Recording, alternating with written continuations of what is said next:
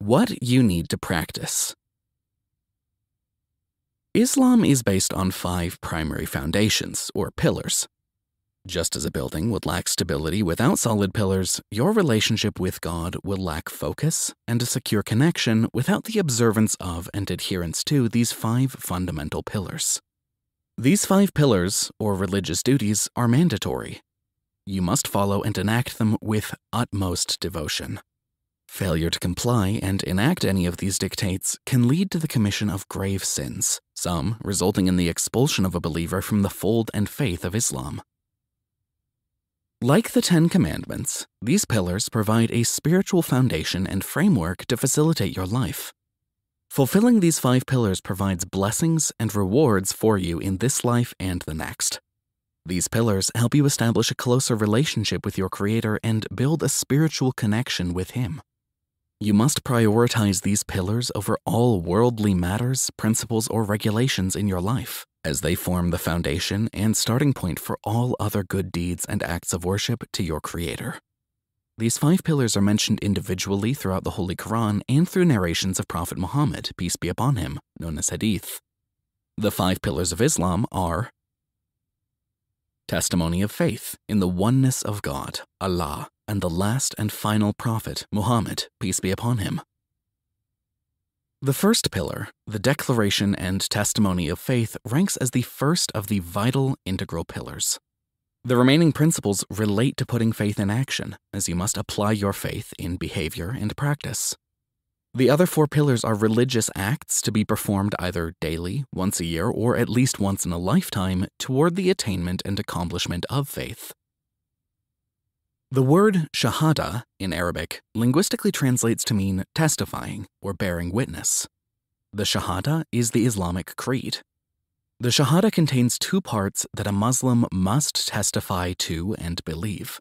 The first part requires the believer to testify that there is no deity worthy of worship, veneration, or complete devotion other than Allah. A Muslim acknowledges that Allah has the exclusive right to be worshipped, venerated, loved inwardly and outwardly by one's heart, tongue, and limbs. Regretfully, many have regarded certain historical figures as their gods and deities, who are wrongfully worshipped and venerated, whether idols, superstitions, saints, ideologies, ways of life, or any authority figures, who claim to be divine or semi divine, even though they are creations with no power to bring any benefit or harm to anyone. But they have taken, besides him, gods which create nothing, while they are created and possess not for themselves any harm or benefit, and possess not power to cause life or death or resurrection. Quran chapter 25 verse 3. One enters the fold of Islam by verbally stating these words, believing in them, acting on them, and living upon them. Merely saying these words verbally, without accompanying action, does not complete a Muslim. The second part of the testimony requires you to testify that Prophet Muhammad, peace be upon him, is the messenger of God. In accepting Prophet Muhammad, peace be upon him, as the seal of the prophets, you affirm that his prophecy confirms and fulfills all previously revealed messages, beginning with those delivered by Prophet Adam, peace be upon him. You carry out the instruction given by Prophet Muhammad, peace be upon him, as commanded by God the Almighty. Prophet Muhammad, peace be upon him, also serves as the best role model for humanity, one who proves his worth through his exemplary life.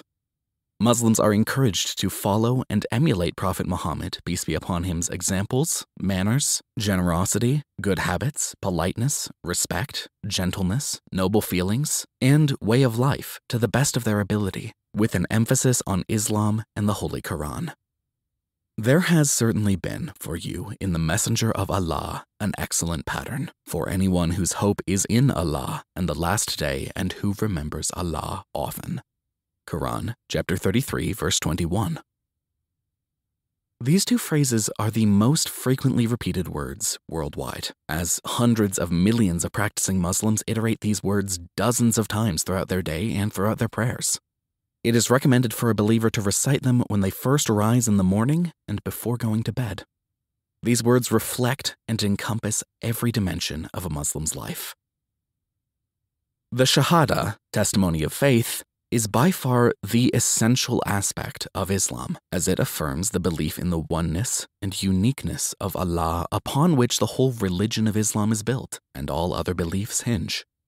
It is the central belief that a Muslim adheres to for his entire life.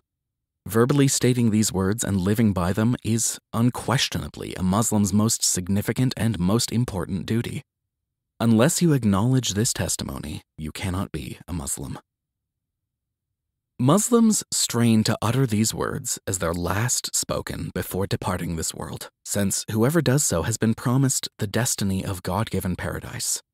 However, only the ones who lived and acted upon these words will be granted the ability to utter these blessed sentiments in the form of their final words.